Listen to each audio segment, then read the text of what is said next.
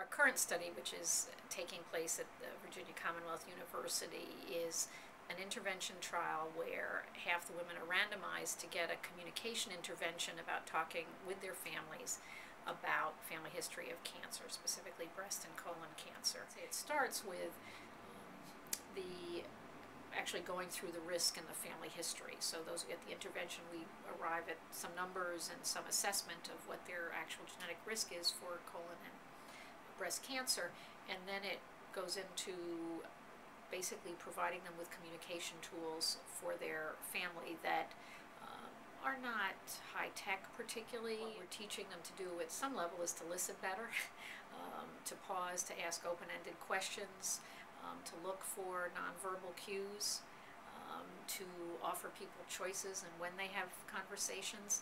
And we hope to see with follow up phone calls and surveys whether or not it impacts um, their breast and colon cancer screening practices. We, we had done a pilot, and the um, women in the pilot really liked it. They'd spend actually up to an hour doing it, they said, um, because it's, it's a very interactive um, uh, discussion about how to talk to your family about tough subjects. Um, and we all, I think, can potentially benefit from that. Our, our long-term goal is to see if we can enhance family communication about genetic and genetic risk um, with integrating genetic information in routine health care.